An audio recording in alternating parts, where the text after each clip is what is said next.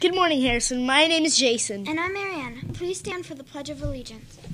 I pledge allegiance to the flag of the United States of America and to the republic for which it stands, one nation, under God, indivisible, with liberty and justice for all. And now for the peace pledge. I am a peacemaker. I pledge to recognize as good people do, to make positive choices and help others do the same. I will build peace at school, at home, and in my community every day.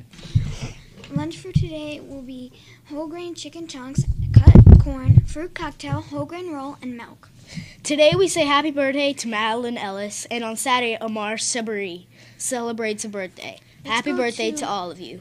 Let's go to Alicia for the weather. Happy Thursday. Today we today we will see partly sunny skies and a high of 40 47 degrees.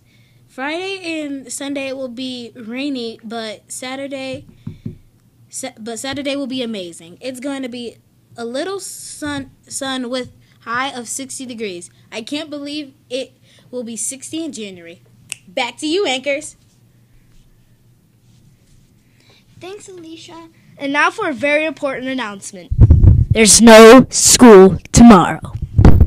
And now for a joke to end our newscast.